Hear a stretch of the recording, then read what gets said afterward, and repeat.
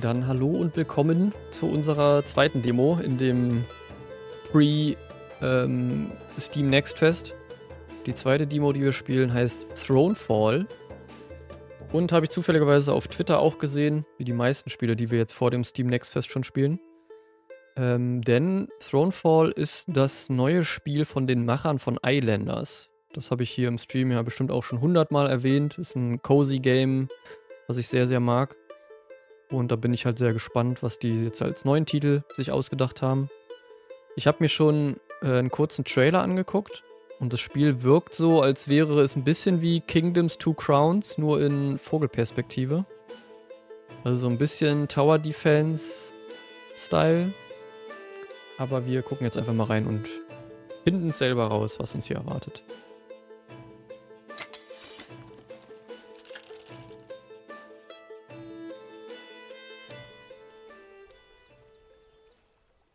Benutze die Pfeiltasten. Kann ich das eigentlich... Ist das vielleicht auch ein Controller-Spiel?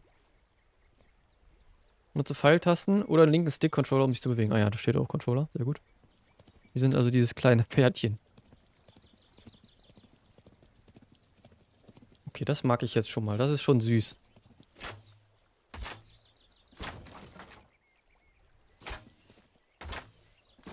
Okay, warum kann ich die... Warum, warum wehren die sich nicht oder sind das Attrappen?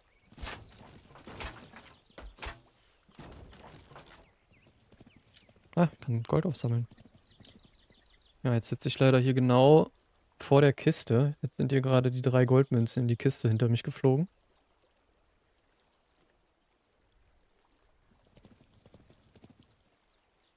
So, benutze die äh, benutze RT, um zu sprinten, wenn deine Gesundheit voll ist.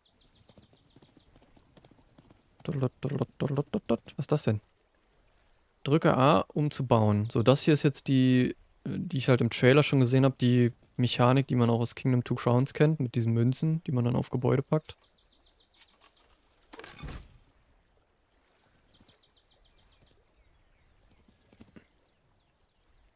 Nachts greifen deine Feinde an. Halte A gedrückt, um die Nacht zu starten.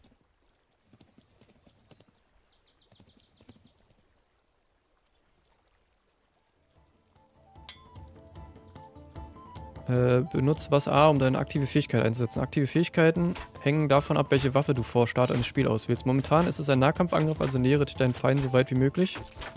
Und er stiche, er stiche ein. Oh. Ist auf jeden Fall schon mal gut, dass ich hier auf Range und in, in Fight, in Bewegung äh, kämpfen kann. Gebt mir all euer Geld.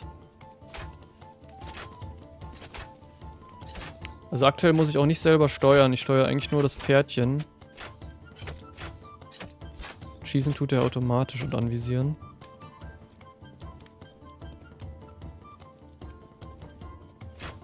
Ja, so äh, Textboxen. Achso, ich soll... Achso, die spawnen jetzt unendlich wahrscheinlich, bis ich hier die Fähigkeit mal benutze. Ich bin jetzt davon ausgegangen, dieses 0 von 3 bedeutet, da gibt es noch mehrere, mehr Seiten.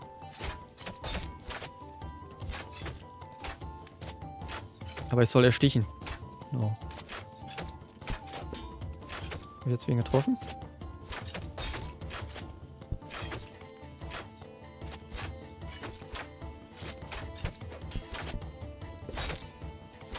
Gut gemacht. Räum den Rest von der Welle noch auf. Ach Mensch, Welle. Du musst hier wieder deine Sachen aufräumen. Investiere dein Gold in den Bau von Häusern. Häuser erhöhen dein Einkommen. So, Night Survived. Königreich 100% beschützt. Okay, ich glaube, die deutsche Übersetzung sind noch ein bisschen zu lang. So, da ist ein Haus. Wie viel Geld habe ich? Vier. Das passt ja perfekt, um drei Häuser zu bauen. Fantastisch. Eine gute Wirtschaft ist der Schlüssel zum Erfolg. Jedes Haus, das die Nacht übersteht, bringt dir am Morgen etwas Gold ein. Du hast kein Gold mehr, also wird es Zeit, die nächste Nacht zu starten.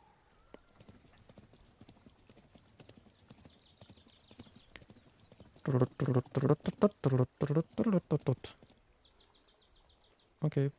Oh. Oh, hier hätte ich einen Turm schon bauen können. Es werde Nacht. Denk an deine aktive Angriffsfähigkeit. Ja, denke ich. Brauche ich aber nicht. Glaube ich. Guten Morgen, Munken. Hallo. Na, hast du äh, der gestiefelte Kater schon geguckt? So, eine große Armee nähert sich. Es wäre klug, zusätzliche Verteidigungsanlagen zu errichten. Ich habe sechs Münzen. Und brauche genau sechs Münzen für zwei Türme. Noch nicht? Okay, schade.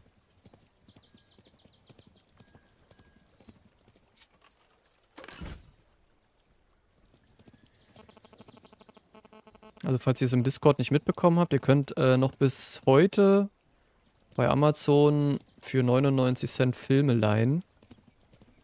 Ich habe mir zwei ausgeliehen. Einmal She Said.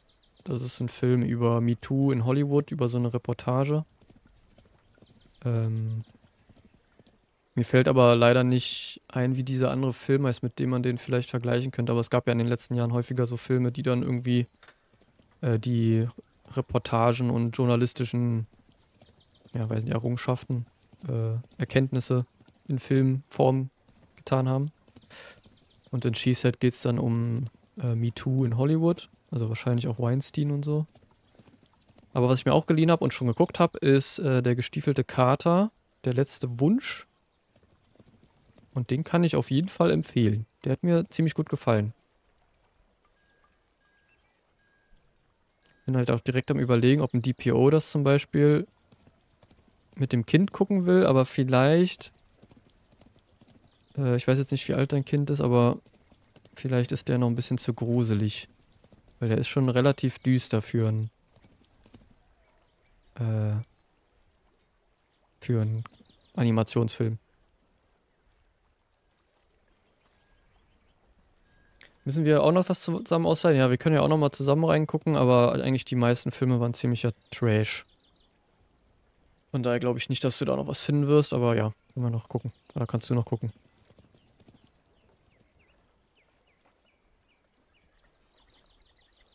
Waren auch sehr wenig, also relativ Filme, äh, wenig Filme im Vergleich. So, hier kommt jetzt auch der Tower-Defense-Aspekt mit rein, mit den Türmchen. Das Einzige, was ich jetzt noch ein bisschen schade gerade finde, ist, dass man halt bis jetzt zumindest nicht selber auswählen kann, wo man was hinbauen möchte. Zumindest hier im Tutorial sind die Positionen der Türme ja scheinbar vorgegeben.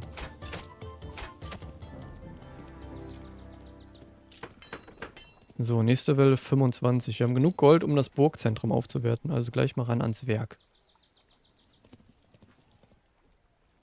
Wieder exakt 7 Gold.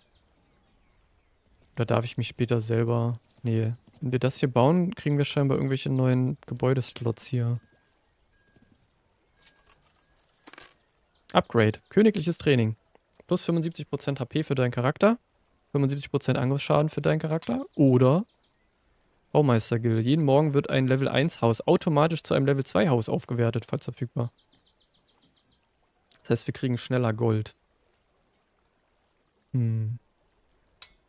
Aber ich mache lieber mehr Schaden. Super, das Upgrade, das du gewählt hast, macht dich im Kampf viel stärker. Deine aktive Fähigkeit verursacht jetzt auch mehr Schaden. Du hast kein Gold mehr, also starte die Nacht, indem du die leerst. Ja, okay. So, hier können wir ein neues Häuschen bauen. Und wenn wir das Häuschen bauen, schalten wir automatisch auch das Häuschen scheinbar frei. Was ist das hier? Eine Mühle. Mit Feldern wahrscheinlich. Und das sieht aus wie...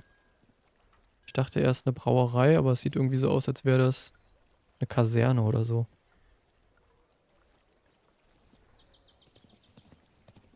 Na gut, wir starten erstmal die, die Nacht. Oh, ich kann hier durchreiten.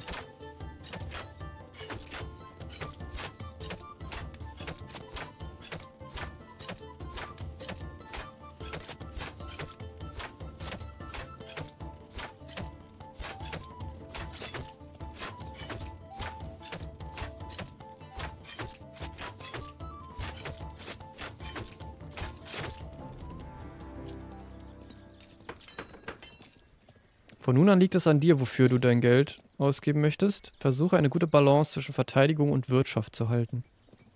Was haben wir hier? Ein Wall oder so? Ah ja. Stadtmauer hält Gegner davon ab, deine Burg zu betreten. Gegner können deine Tore nicht durchschreiten, selbst wenn sie geöffnet sind. 240 Leben. Äh, ich habe 9 Gold. Das ist ziemlich viel. Mühle. Schalte die Option frei, Felder zu bauen, um das Einkommen zu steigern. Das ist quasi wie ein Haus oder was? Nur mit noch mehr Zusatzgedöns. Die kostet 4. Kaserne, wähle einen Nahkampfeinheitentyp. Bringt aber kein Geld.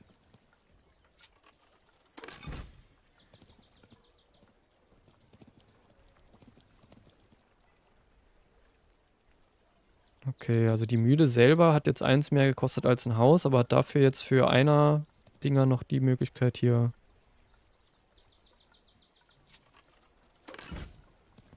noch mehr Geld zu generieren. Sehe ich denn irgendwo meinen Income? Glaub nicht, ne?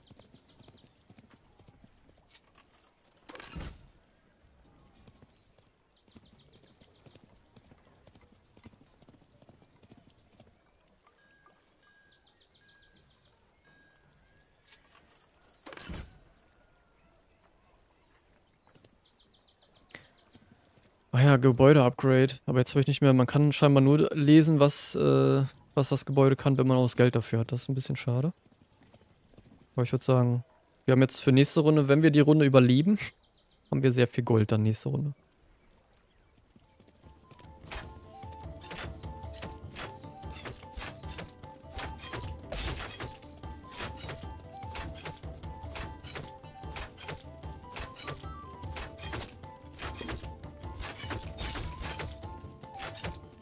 Sie greifen uns an.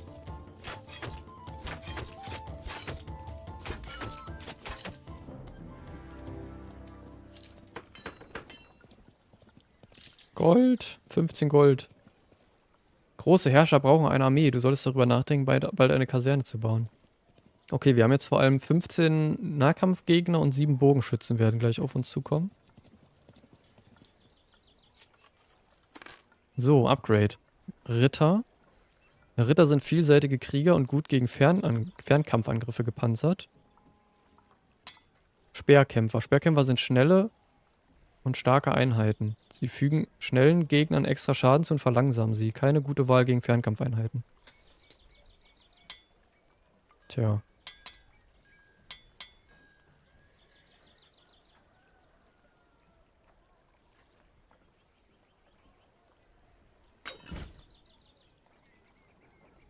Um deine Einheiten zu befehligen. Halte X gedrückt, um naheliegende Einheiten zu befehligen. Gehe zu deinem Zielort. Die ausgewählten Einheiten werden dir folgen.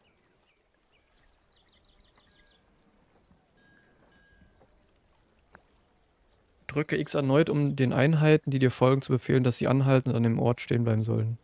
Probier es aus. Folgt mir. Weiß aber gerade gar nicht, wo ich die, wo ich die hinpacken soll. Hier in so eine... Oh. So eine Enge hier. Ich meine, die sollen ja eigentlich die Bogenschützen bearbeiten, aber...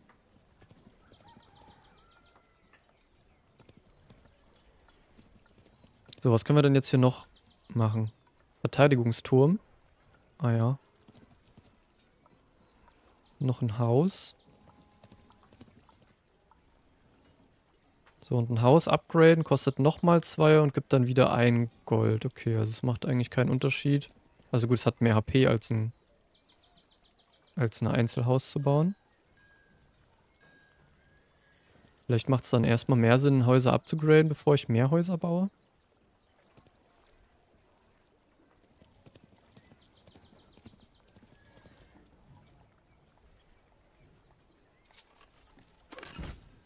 Haben wir eine Gold, Goldmine, äh, Golddings.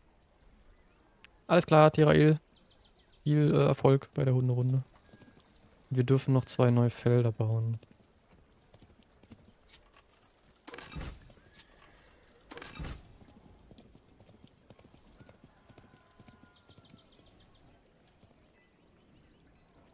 Okay, und wenn ich jetzt eine neue Armee haben möchte, muss ich erst ein Upgrade machen.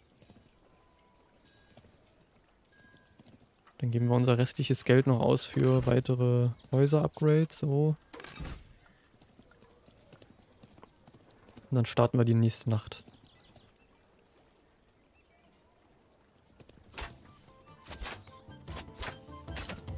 Ah!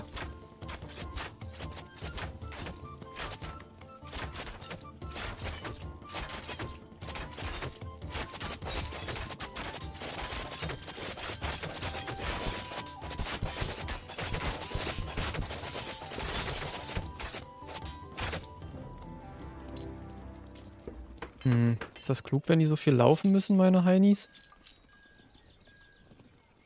Ich weiß ja nicht. Nee.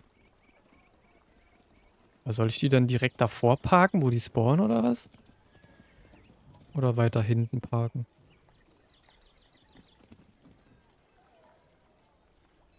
Oder soll ich erstmal, soll ich die hier hinten zwischen den Türmen warten lassen? Aber ich konnte den ja irgendwie scheinbar nicht. Die sind ja dann einfach losgelaufen. Kann ich denen nicht befehligen, dass die da stehen bleiben sollen? Ein Tor bauen, ja. Aber ich kann jetzt auch den Turm upgraden.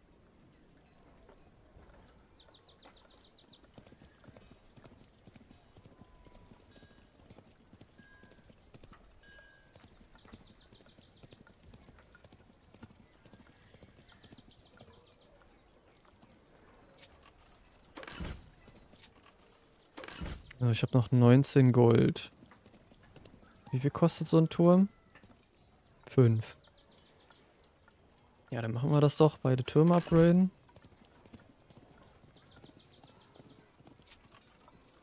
Haben wir noch 9. Das kostet 8. Hm. Aber die Einheiten mag ich nicht so.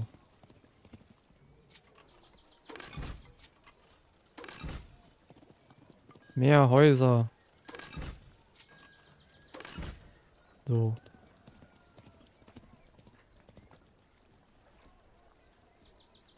Ich lasse sie hier hinten stehen, weil dann kann ich vielleicht erstmal selber ein bisschen was wegschießen und die Türme können was wegschießen und dann...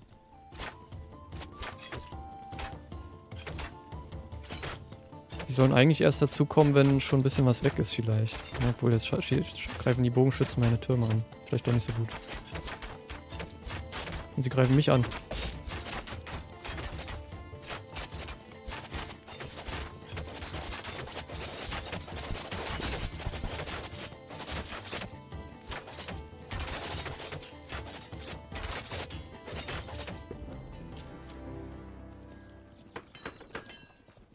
Ui, Keulenträger.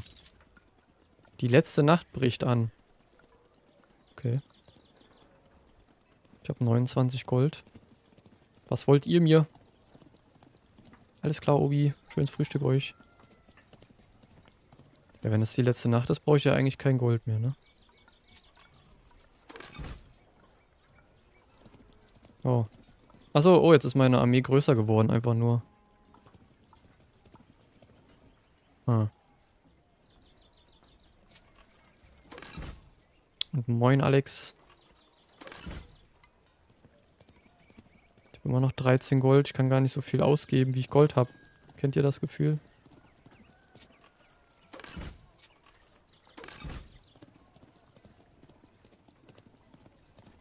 Achso, ich kann auch den, die Mauer. Shit.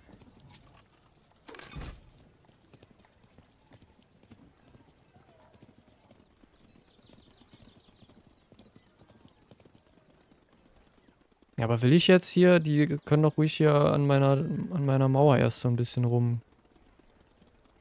Sind ja jetzt keine Bogenschützen dabei. Nee, ihr bleibt hier hinten.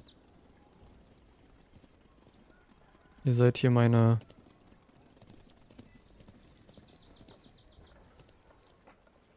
Meine letzte Bastion.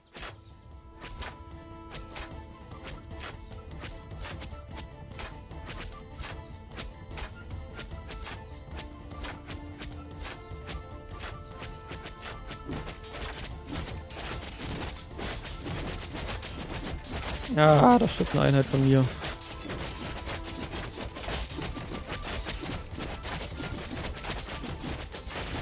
Ich könnte mir vorstellen, ähm,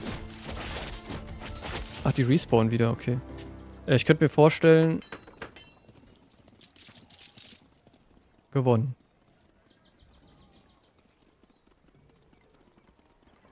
Level 2, Königliche Münzanstalt. Dein Burgzentrum produziert Gold und dieses Einkommen steigt bei jedem Upgrade. Oh. A, A, was ist das? Ein K, ein F? Arkane-Türme? Af, Atane? Afane? Naja. Ich könnte mir vorstellen, dass dann in späteren Leveln wird man wahrscheinlich auch von mehreren Seiten angegriffen und da macht es dann vermutlich auch ein bisschen mehr Sinn, äh, irgendwie seine Einheiten da zu platzieren. Man selber ist vielleicht da unterwegs und irgendwie so in die Richtung, denke ich mal.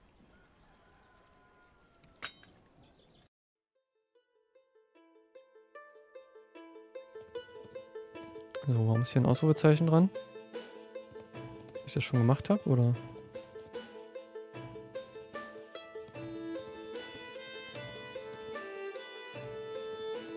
Okay, und dann hat man hier so eine Karte, muss hier weitermachen scheinbar.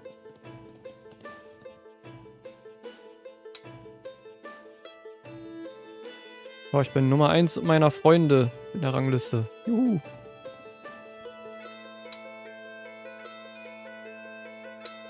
Sollen wir da trotzdem noch kurz reingucken? Okay, Waffe. Das ist jetzt, was die vorhin meinten, die Waffe, die wir am Anfang auswählen konnten. Gibt es auch noch irgendwelche Quests für? Erringe einen Sieg. Erreiche einen Highscore vor 5000, den hatten wir fast. Erringe einen Sieg ohne Bogen. Perks, 0 von 1. Darf ich mir jetzt einen aussuchen, oder was? Naja. Und Mutatoren. Provoziere den Schildkrötengott. Gegner haben deutlich mehr Lebenspunkte, aber du erhältst 20% mehr Punkte und XP, wenn du gewinnst. Feinde verursachen deutlich mehr Schaden, aber du erhältst 20% mehr XP. Okay.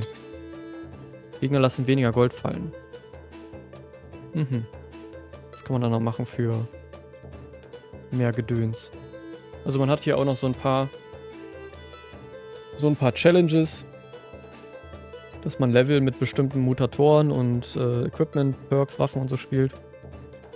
Für irgendwelche, weiß nicht, was man dafür kriegt für die Quests, aber zumindest hat man dann noch einen, äh, einen, Sinn, einen Sinn vielleicht und einen Grund, das äh, Level auch nochmal zu wiederholen oder das nochmal häufiger zu spielen.